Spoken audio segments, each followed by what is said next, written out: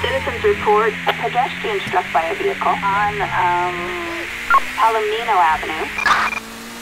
Damn, 5 -0.